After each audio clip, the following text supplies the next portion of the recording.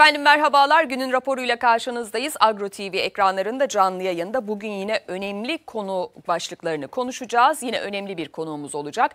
Özellikle bugün e-ticareti konuşacağız. Biliyorsunuz pandeminin 2019 yılında hayatımıza girmesiyle e-ticarette, internetten alışverişlerde ya da siz nasıl derseniz dijital alışverişlerde diyebiliriz. Bunda yükselme görüldü ve özellikle rakamlar da zaten buna işaret etmekte.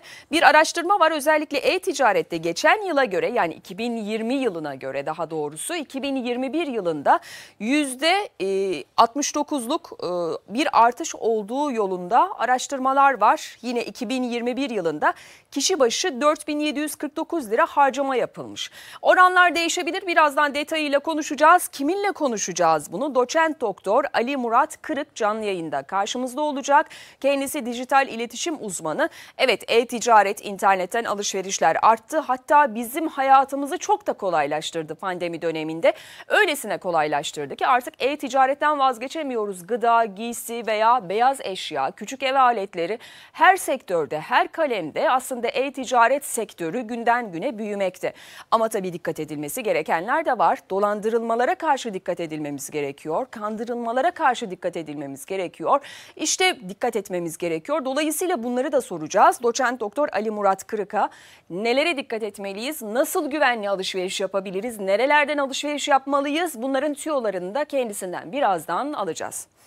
Ama dilerseniz önce bir piyasalarla başlayalım. Yine 21 Nisan Perşembe gününde acaba dolarda, euroda, altında ve BIST 100 endeksinde açılış rakamları nasıl gerçekleşti? Ekranlara hemen arkadaşlarım yansıtırken ben de sizlere aktarmaya çalışıyorum. Dolarda bugün açılış 14.67 seviyesinden gerçekleşti. An itibariyle 14.68 seviyesine çıkıldığını söyleyelim dolarda. Euro'ya bakıyoruz. Euro'da bugün 15.93 seviyesinden açılış gerçekleşti. 16.06 seviyesinde olduğunu söyleyelim Euro'nun. Ve altın, altında bugün gram fiyatında 923,38 liradan işlem görmeye başladı. Altın piyasalarda açılışta an itibariyle altında düşüş olduğunu söyleyelim ve BIST 100 endeksi diyeceğiz. BIST 100 endeksinde 2532 seviyesinden bugün açılış gerçekleşti. An itibariyle BIST 100 endeksinde 2544 seviyesine çıkıldığını da söyleyelim.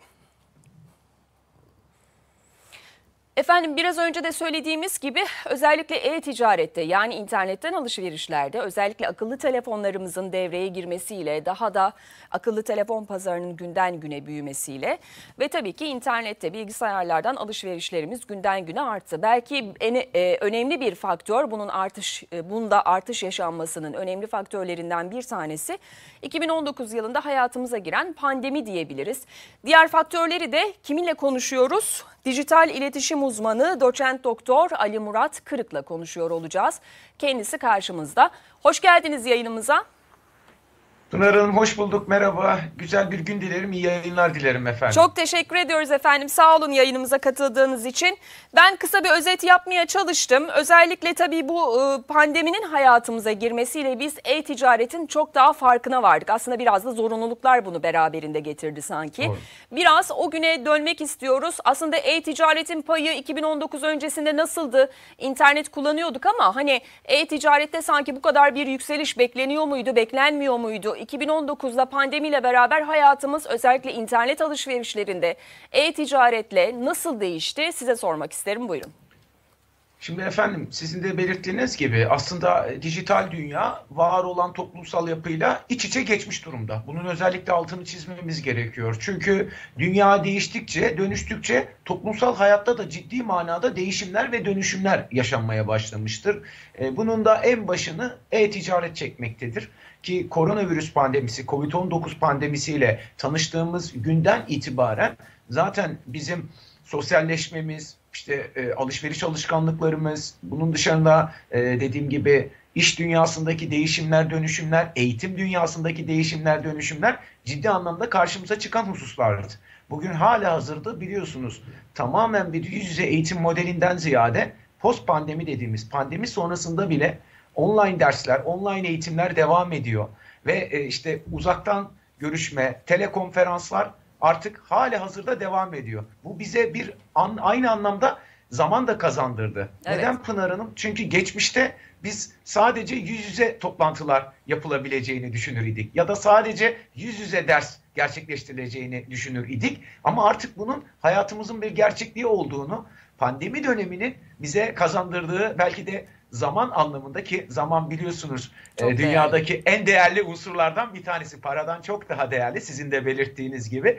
Dolayısıyla zamanı verimli ve faydalı kullanmak adına artık uzaktan eğitim, telekonferanslar, e, açık bir şekilde post pandemi yani pandemi sonrasında da bizimle birlikte var olmaya devam edecek. Bu açık bir şekilde gözlerine serilmiş durumda ve tabii ki hibrit dediğimiz melez modeller. Yani eğitimde de bunu görüyoruz, iş dünyasında da bunu görüyoruz efendim. Mesela bir kısım çalışanların evden, bir kısım çalışanların ise ofis ortamında hali hazırda çalışmaları devam ettiği.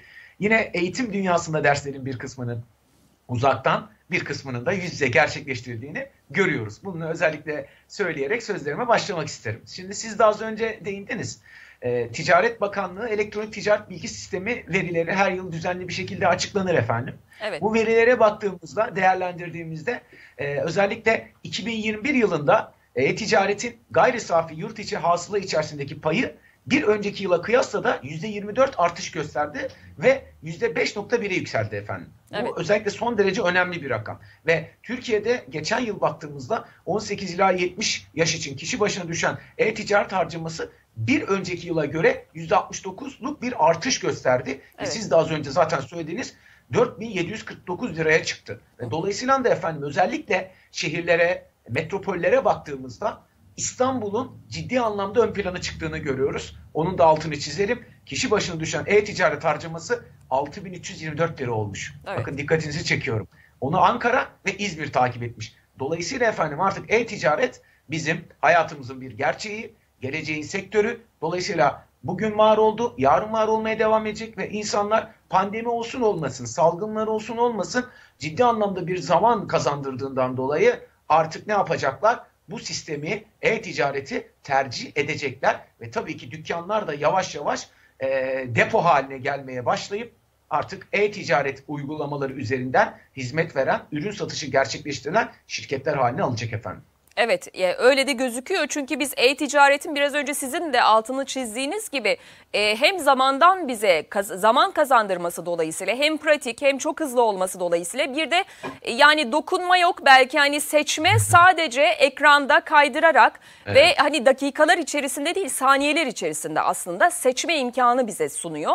Hatta bedenini evet. seçebiliyoruz dokunamıyoruz belki ama çok renk çeşidi ve ayağınıza gelmesi çok önemli. Yani siz gitmiyorsunuz hem zamandan hem de paradan aslında tasarruf ediyorsunuz ama tabii paradan tasarruf ederken pahalı alışveriş alışveriş yapmamak da önemli tabii burada. Hani e, internetin ucuz olması da aslında bir noktada avantaj diye düşünüyorum. Çünkü internet mağazalarında özellikle büyük markaların bakıyoruz burada çalışanlar yok. E, mağaza kirası yok. Dolayısıyla veya geçmiş sezondan satılmayan ürünler satıldığı için fiyatlar daha düşük. Aslında bu açıdan da bir avantaj sanki değil mi? Tabii çok haklısınız. Çünkü maliyetler ciddi anlamda düşmeye başladı aslında e, ticari bir işletme hesabı yapacak olursanız çalışanlardan tutun, iş yeri kirası, işte elektrik, su giderleri bunlar e, ciddi anlamda bir maliyetti. Dolayısıyla bunların ortadan kalkması ve ister istemez insanlara zamandan e, büyük bir kazanım sağlaması son derece önemliydi ki biliyorsunuz Pınar Hanım yani bir ürün almak istediğinizde e, belki birkaç dükkana gitmek zorunda kalabiliyorsunuz. O ürünün istediğiniz ürün var mı? O ürünün rengi bulunuyor mu? Ya da o üründen kaldı mı? E, sonuçta bunu sanal ortamda görebiliyoruz stok yönetimini. Ürünler tükendi mi tükenmedi mi ama bunu yüz yüze ya da işte dediğim gibi fiziki alışverişte göremiyor idik. E, bu da tabii ki belki birkaç dükkan gezmemize sebebiyet veriyor idi. Dolayısıyla artık sanal ortamda takibi de sağlayabiliyoruz. Aynı şekilde biliyorsunuz kıyaslama yapabileceğimiz e-ticaret siteleri, alışveriş siteleri de mevcut. Evet. Fiyatların çıkışını ve inişlerini de çok ciddi anlamda görebiliyoruz Pınar Hanım. Hatta bildirimleri açık bırakarak işte ürün düştüğünde, fiyat düştüğünde bana haber ver diyoruz. Dolayısıyla tek tek sizin kontrol etmenize bile gerek kalmadan size aslında bir bildirim geliyor. Dolayısıyla sizin de belirttiğiniz gibi mobil iletişim teknolojileri, efendim akıllı telefonlar e, bu anlamda da insanı asiste ediyor. Ama asiste ettiği kadar da aynı şekilde biliyorsunuz hayatımızın da merkezinde yer alıyor ki e, bu dönem içerisinde ciddi anlamda aplikasyonların geliştirildiğini görüyoruz. Yani e-ticaret sitelerinin aplikasyonlarının, mobil uygulamalarının da yaygınlaştığını görüyoruz. Yeni bir sektör oluştuğunu görüyoruz. Belki bundan birkaç yıl öncesine deseydik işte bir su, bir cips, ne bileyim efendim başka bir e, giyim kuşam ürününü gelip e, motokurye teslim edecek deselerdi belki inanmazdık. Ama şu an ciddi anlamda bu e-ticaret sitelerinin, mobil aplikasyonların, bu şirketlerin e, ister istemez bir ulaşım ekibi ortaya çıkmaya başladı ve geçmişte sadece kargolar üzerinden ürünlerin e, gönderimi söz konusuyken artık bugün belki yarım saat içerisinde belki 15 dakika içerisinde artık her mahallede biliyorsunuz bu şirketlerin bir deposu e, oluşmaya başladı. Buradan hızlı bir şekilde efendim ürünleri sipariş edebiliyorsunuz ve siz çıkmadan belki çıkamayacak durumdasınız. Belki bir misafiriniz gelecek ve anında o ürünü almanız gerekecek bunu hızlı bir şekilde ulaştırabiliyorlar. Bu da tabii ki ayrı bir istihdam sahası oluşturdu efendim. Dolayısıyla e-ticaret yani tamamen farklı bir sektör olarak karşımıza çıkmaya başladı. Ve e, hakikaten bugün ben de bakıyorum Pınar Hanım.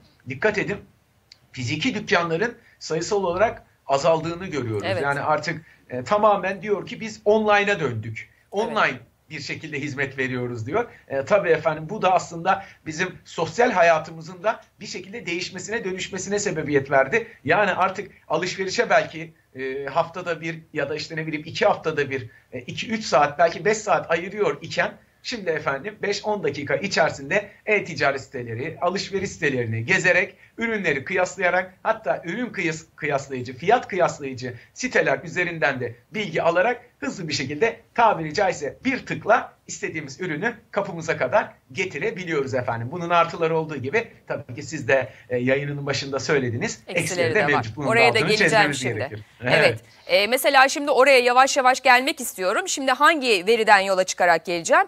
Birkaç veri sıralamak istiyorum. Yine Etbis verilerine göre. E, özellikle evet. internetten alışverişin %52'sini erkekler yapmış, %48'ini kadınlar yapmış. Buna bakıyoruz. en çok beyaz eşya, giyim ayakkabı ve elektronik satın alınmış. Sıralama beyaz eşya, ayak giyim ayakkabı ve elektronik şeklinde. Bir de alışveriş yapanların %70'i akıllı telefonlarını kullanmış. Evet. Herkes akıllı telefon sahibi artık. Bilgisayarı da kullanmayı artık sınırlamışız.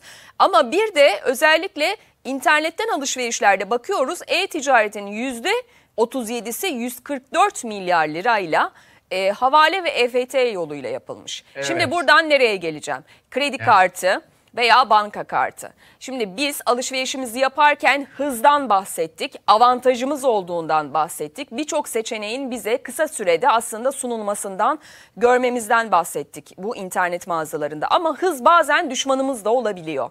Mesela Tabii dolandırıcı efendim. siteler veya işte e, kalitesini kanıtlamamış, güvenilir olmayan Instagram'dan alışveriş yapmak gibi çeşen, e, seçenekler e, çok çeşitlendirilebilir aslında. Dolayısıyla burada bizim aslında bir tık ve bir tuşa basmamış bazen dolandırılmamıza da sebep oluyor. Hız aslında düşmanımız yani bir taraftan e, avantajımız olmasının yanı sıra.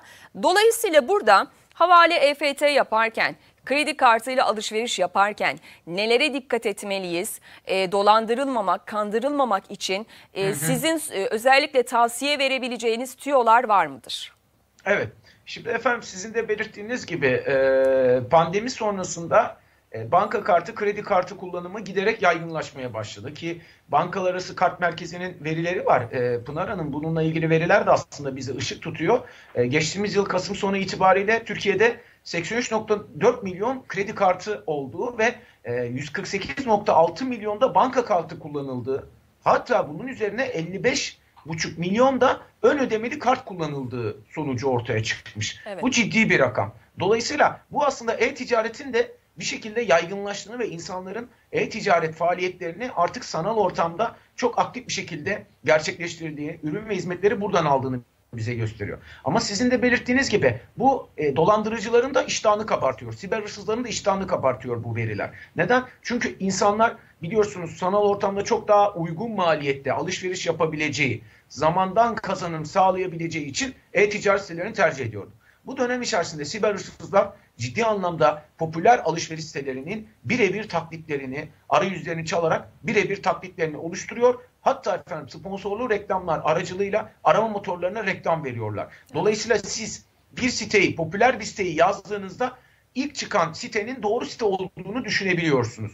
Aslında bu siber hırsızların oluşturmuş olduğu sahte bir siteye yönlendirme sağlayan bir link olmuş oluyor. Ve siz tabi burada ürünlere bakıyorsunuz, içeriklere bakıyorsunuz. Ürünler, içerikler, sitenin yapısı birebir aynı. Asıl sizin de dediğiniz konu bundan sonraki süreç ödeme süreci. Çünkü siz aslında kredi kartı bilgilerinizi, banka kartı bilgilerinizi bu siber hırsızların oluşturmuş olduğu sahte web sitesine aktarmış oluyorsunuz. Özellikle hangi günleri tercih ediyorlar? Önemli günleri anneler günü gibi, babalar günü gibi, sevgililer günü gibi önemli günleri tercih ediyorlar. Hayır, yakınlaşmakta Özellikle... olan bir anneler günü var mesela değil mi? Öncesinde çok çok dikkat etmemiz lazım. Zaten dikkat edelim de hani anneler günü evet. için mesela internetten hızlı olduğu için sipariş verirken falan nelere dikkat etmeliyiz? Özellikle hadi sizin söylediğiniz biraz önceki cümle çok dikkat çekici. Mesela bir arama motoruna yazıyoruz ama ilk çıkan site hı hı. en güvenilir site demek değil o zaman.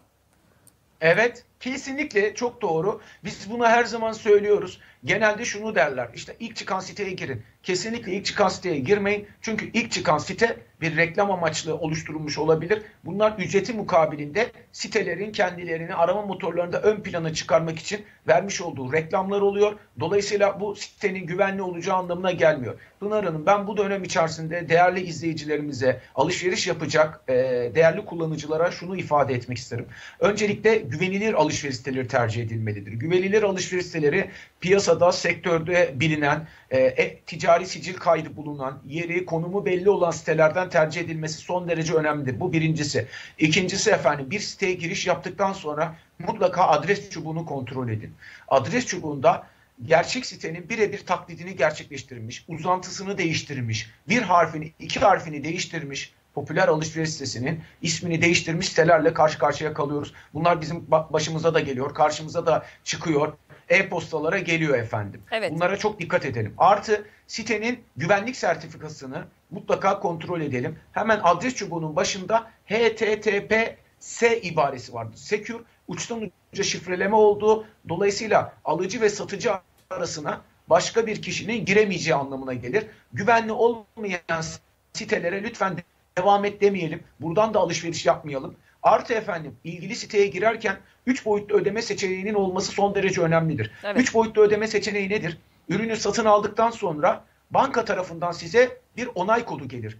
Şifreniz bilinse bile, kart şifreniz bilinse bile o onay kodunu girmeden hiçbir şekilde işlem gerçekleştiremezsiniz. Dolayısıyla efendim güvenilir alışveriş siteleri 3D Secure dediğimiz 3 boyutlu ödeme seçeneğini de mutlaka bünyesinde barındırır. Buna da çok dikkat etmemiz lazım. Artı şunu da söyleyebiliriz. Kapıda ödeme seçeneği son derece önemli hususlardan bir tane bir tanesidir efendim.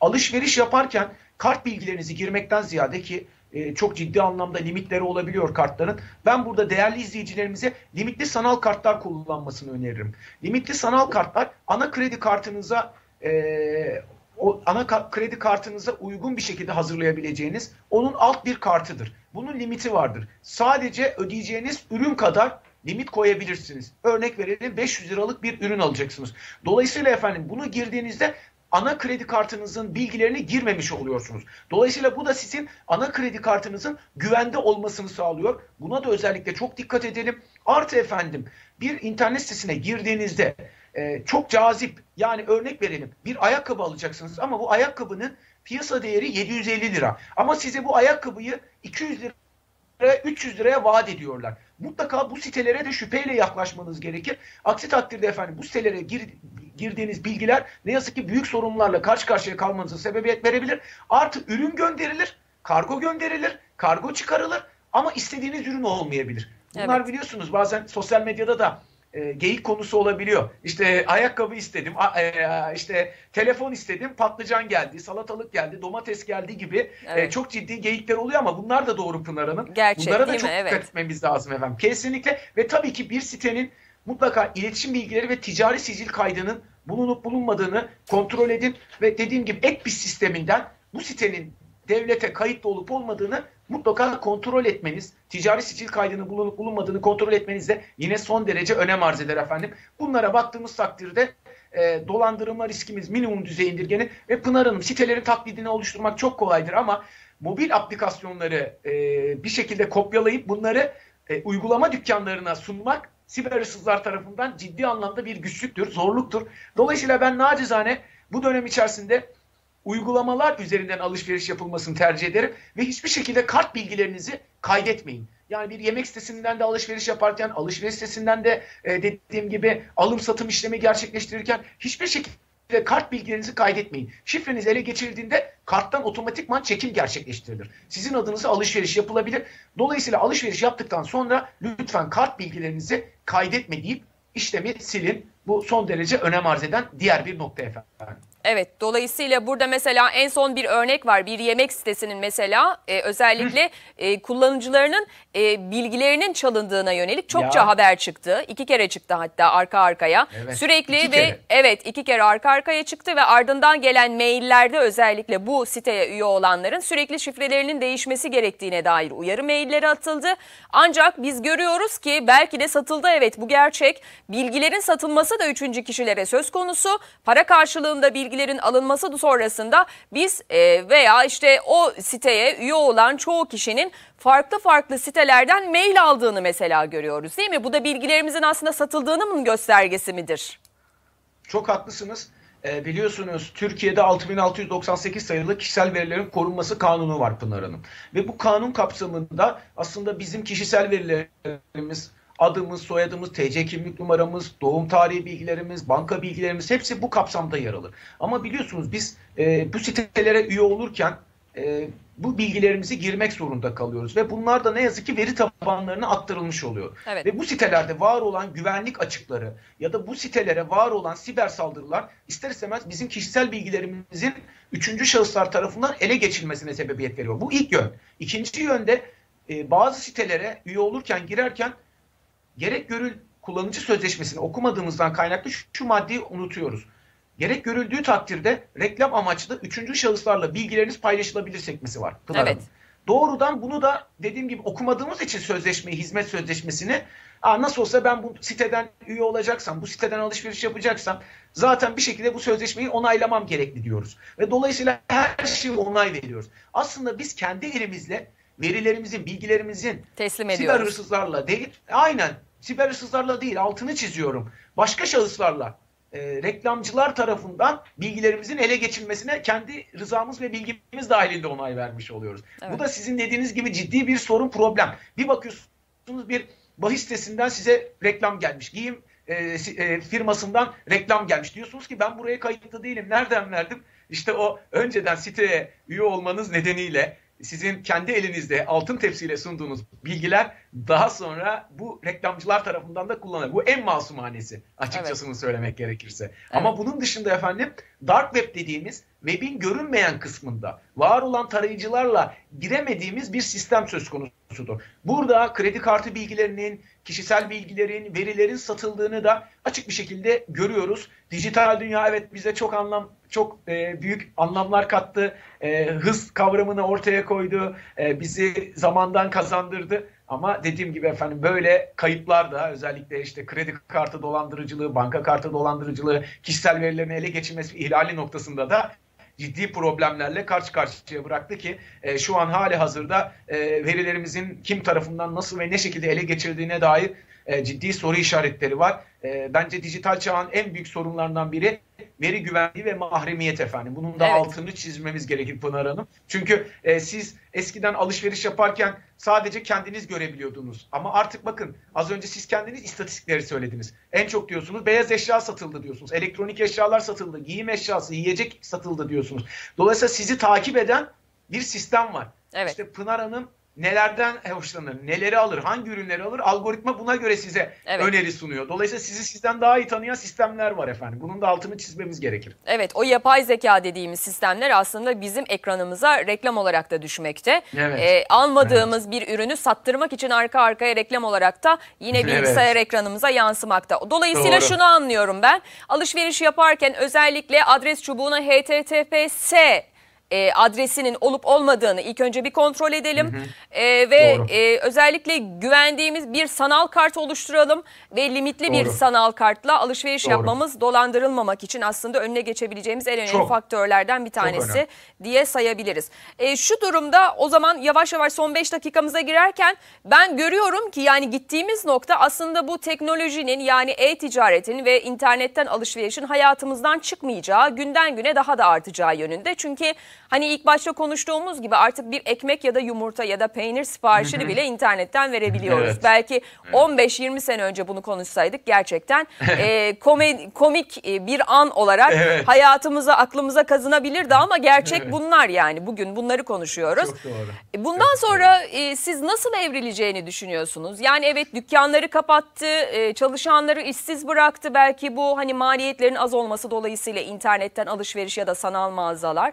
Bundan sonra artık yani her şeyi e, bizi internetten mi alacağız? Bireysel e, olup daha da içimize mi kapanacağız? Çünkü arkadaşlarımızla bile artık sohbet etmiyoruz. Dışarı çıkmıyoruz. Sadece Instagram üzerinden, Facebook üzerinden canlı yayınlarla sohbet edebiliyoruz. Mesela pandemide bunu da çok yaptık. Veya Doğru. işte toplantılar, Zoom toplantıları mesela hayatımıza girdi. Çokça hala da devam ediyor çoğu Doğru, sektörde. Devam ediyor. Evet. Doğru. Nasıl görüyorsunuz gidişatı? Pınar'ın şöyle söyleyeyim pandemi sonrası post pandemi dönemde de artık iş dünyası e, ticari sektör artık bunu öğrendi sizin de belirttiğiniz gibi bunu bırakmaları zor. Ve ben e, gelecekte de ki yapılan araştırmalara baktığımızda pandemi sonrası e-ticaretin etkisinin kalıcı olacağını söyleyebiliriz. Hatta e, 10 kişiden 8'inin mutlaka online kanalları tercih edeceği de bir gerçek. Çünkü artık tüketiciler biliyorsunuz pandemi nedeniyle fiziki ortamlar yerine sanal ortamı tercih etmeye başlamıştı. Pandemi sonrasında da bunu e, devam edeceğini söyleyebilmek mümkün. Artı insanlar pandemi sonrası yani maskeler çıksa bile hala hazırda geçmişteki korkuları nedeniyle kalabalıklardan kaçınabilecekler. Dolayısıyla mağazaya gitmek yerine sanal ortamdan alışverişi ve ürünleri alacağını söyleyebilmek mümkün. Ee, özellikle yapılan bir araştırmada da zaten katılımcıların %51'i aşı sonrası bile eski alışveriş e, alışkanlıklarına dönmeyi planlamıyor. Bu da aslında ciddi bir. E, e-ticaretin özellikle 4 yıl içerisinde e, yaklaşık 2,5 kata çıkması bekleniyor. Bu da aslında sektöre yeni e, markaların, firmaların, işletmelerin gireceğini gözlerine seriyor. Artık küçük, orta, büyük ölçekli işletmeler bile biliyorsunuz e-ticaret sitesi oluşturabiliyor ve bunların buralarda ürünlerini, hizmetlerini satabiliyorlar. Dolayısıyla efendim bu büyüme ciddi ve gerçekten Türkiye'de e, sanırım e, internet bağlantımızda bir eko yapıyor sürekli. Onu arkadaşlarım bir kez daha bağlanalım Ali Murat Bey. İnternette sanırım bir problem oldu. Tekrar bağlanalım. Kendisinden bir mesaj alarak birazdan kapatalım. Nelere dikkat etmeliyiz? Onları sorduk püf noktalarına. Evet internet alışverişi çok pratik. Ayağımıza kadar gelmesi açısından çok çok önemli. E, bir kez daha bağlayalım arkadaşlar. Kapanışı Ali Murat Bey ile yapalım. Bir mesajla yapalım hatta. E, şöyle HTTPS adres çubuğunda mutlaka olmalı dedi Ali Murat Bey. Doçent Doktor Ali Murat Kırık. Dolandırılmamak, kandırılmamak için bunlara dikkat etmeliyiz. Alışveriş yapacağımız internet sitesinin adresinin başında adres çubuğunda HTTPS ki ise security güvenlik anlamına gelmekte dedi ve sanal kart oluşturmalıyız dedi. Bağlandık sanırım. Bir kez daha kulak verelim. İnternette bir problem oldu. Buyurun sizi dinliyoruz kaldığınız yerden. Pınar Hanım artık gelecek e-ticaretin e, dediğim gibi çok ciddi iğme kazanacağı ve ciddi satışların yapacağı bir gelecek. Dolayısıyla bundan geri kalma şansımız söz konusu değil. Bunun özellikle altını çizmemiz gerekiyor. Ancak güvenli alışveriş için e, bilgi güvenliği, veri güvenliği anlamında kendimizi yetiştirmemiz, geliştirmemiz gerekiyor. Bir dönem insanlar ayak diretmişti. Ben cep telefonunu kullanmayacağım dedi ama bugün hayatımızın gerçekliği bir merkezi durumuna geldi. Dolayısıyla gelecekte e-ticaret ciddi anlamda bir ivme kazanacak. Ben e, 2024-2025 yılında e-ticaretin e, iki buçuk kat daha e, fazla kullanılacağını düşünüyorum kullanıcılar tarafından. Bu verilerin ciddi anlamda artış yaşanacağını e, görüyorum ki zaten şu an verilerde de ciddi anlamda bir artış, artış söz konusu. Var. Her geçen gün evet efendim her geçen gün kişi başına düşen ortalama e-ticaret e, sitelerinden alışveriş ve e, maliyet giderek artmaya başladı. Bunu özellikle altını çizelim. E, dolayısıyla şirketlerin işletmelerinde inovatif ve girişimci olması artık e-ticaret alanına kayması ister küçük ister orta ister büyük ölçekli işletme olsun mutlaka bir e-ticaret sitesinin olması gerektiği, ürünleri, hizmetleri buradan satması gerektiği sonucu ortaya çıkıyor. Zaten çağa ayak uyduramayan işletmelerin ben e, yakın gelecekte artık kepenk indireceğini düşünüyorum. Çünkü zaten genç bir kuşak var. Z kuşağı dediğimiz 2000 ve sonrası kuşak sadece efendim dijital ortamı kullanan, alışveriş yapan, sosyal medyadan iletişim kuran bir e, kuşak var. Dolayısıyla o kuşağı yakalamak, o kuşağın ihtiyaçlarını gidermek adına da e, e-ticaretin çok ciddi bir ivme kazanacağını, dolayısıyla e, yakın gelecekte de efendim artık şirketlerin, işletmelerin bu dünyayla tamamen haşır neşir olacağını düşünüyorum. Ve bu da aslında her işletmenin bir e-ticaret uzmanıyla çalışacağını göz önüne seriyor. Evet. Dolayısıyla bu da belki bir geleceğin mesleği olarak değerlendirdiğimizde e-ticaret, e-pazarlama uzmanlarının da e, buralarda istihdam edileceğini söyleyebilmek mümkün Pınar Hanım. Evet çok teşekkür ediyoruz. Doçent Doktor Ali Murat Kırık ağzınıza sağlık. Bizi çok bilgilendirdiniz. Önemli noktalara temas ettiniz ayrıca. Sağlıklı günler diliyoruz. Tekrar görüşmek dileğiyle hoşçakalın diliyoruz şimdiden. Ben de efendim sizlere iyi günler diliyorum. Görüşmek dileğiyle başka bir yayında. Hoşça Sağ olun. Hoşçakalın. İyi çalışmalar diliyoruz. Efendim bugünlük günün raporunu burada noktalıyoruz yavaş yavaş. E, nelere dikkat edeceğiz hemen bir cümleyle özetleyeceğim ve ardından da kapatacağım. İnternetten alışveriş yaparken HTTPS e, adres çubuğunda bu ibarelere, bu harflere dikkat edin. Çünkü güvenli bir sanal mağazanın adresidir bu dedi doçent doktor Ali Murat Kırık. Alışveriş yaparken lütfen bildiğiniz sitelerden alışveriş yapın. Yine alışveriş yaparken limitli sanal kart kullanın. Kart bilgilerinizi kaydetmeyin. Dolandırıcıların iştahını kabartmayın dedi ve özellikle akıllı telefonlardaki uygulamaların dolandırıcılar ve siber dolandırıcılardan ve tabii ki kandıran insanları kandıran bu fırsat fırsatçılardan bahsederken bunlar tarafından aslında taklit edilemediğine dikkat çekti. Dolayısıyla internet sitesinden alışveriş yapmak yerine herkesin elinde akıllı telefon olması dolayısıyla akıllı telefonların uygulamalarından aslında bu alışveriş yaptığınız sanal mağazaları indirip bu uygulamalar üzerinden alışveriş yapmanız sizin için güvenlidir dedi araştırmaların sonuçlarını da konuştuk. Öyle gözüküyor ki e-ticaret daha da artacak ki zaten akıllı telefonlar her an yanımızda, elimizde, başucumuzda hatta ne kadar zararlı olsa da e, ancak vazgeçemiyoruz. Teknoloji de günden güne artmaya devam ettikçe e, bizim alışveriş e, ve alışveriş konusunda hız sunması dolayısıyla ve tüm ürünleri ayağımıza getirmesi dolayısıyla bize de çok avantaj sağlıyor ama dikkat edilmesi gereken çok nokta var dedi. Dijital iletişim uzmanı doçent doktor Ali Murat Kırık. Teşekkür ediyoruz tekrar kendisine. Sizlere de teşekkür ediyoruz bizi izlediğiniz için. Efendim e, yarın yayınımız olmayacak. E, program tekrarımız girecek. Dolayısıyla pazartesi günü tekrar saatler 12'yi gösterdiğinde canlı yayında günün raporunda Agro TV ekranlarında görüşmek dileğiyle diyoruz. Şimdiden iyi hafta sonları diliyorum. Sağlıklı günler, hoşçakalın.